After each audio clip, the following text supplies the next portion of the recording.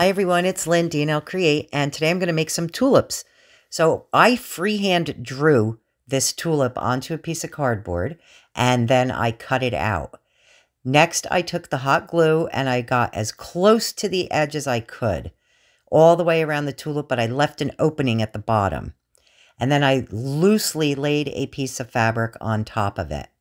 Um, I just went around and made sure all my edges were glued, which they all weren't. So you're going to see me go in and add a little more glue here and there.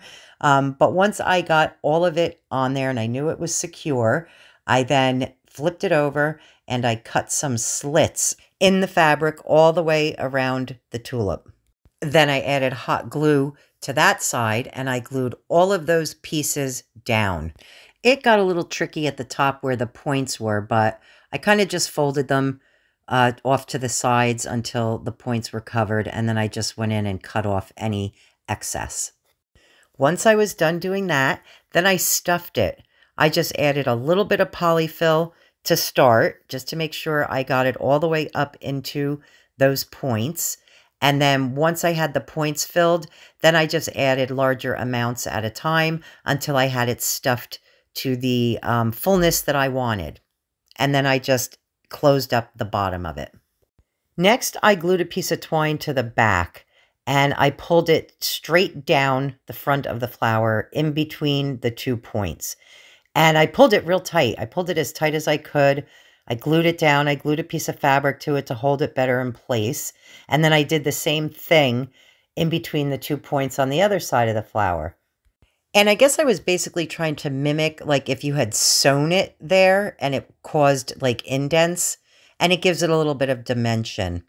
And then the next thing I did was I ran that same twine all the way around the outside edge of the flower. And I do love the way that this turned out because it, it, like I said, it's giving it some dimension and some texture. And I made three of these. Next, I tea stained a piece of drop cloth. I just soaked a tea bag in some water and then I just kind of dripped it and rubbed it all over the drop cloth. And it did get some grounds, uh, some of the tea grounds on it, but you can just wipe those off once it's dry. And I did do the same thing to these flowers. And then once they were all dry, I cut a slit in the bottom of each of the flowers with the utility knife, added some hot glue, and a stem. And these are just stems that came from a different floral picks. Then I kind of arranged them in a bouquet and I wrapped them together with some electrical tape. Then I took my drop cloth and I did turn the top edge down once and I glued it around a piece of styrofoam. And then at the bottom, I just ran some hot glue across there and folded it up just once. Then before I went any further, I did glue a piece of twine on the back of the uh, middle flower for a hanger. And then I stuck my stems right through the styrofoam and I added some glue. The styrofoam did break apart a little bit, but it's okay. It works out because I glued a piece of cardboard to the back of it just to make it more durable. And then I flipped it back over and I took some raffia and I tied it right around that top part into a bow, just under that cuff.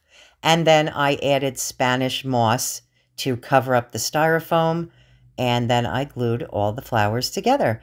And it turned out really cute. I think it's really cheerful and springy. And I hope you like it too. And I hope you give this one a try. Thank you so much for watching. I hope you all have a great day. And we will see you next time. Bye bye.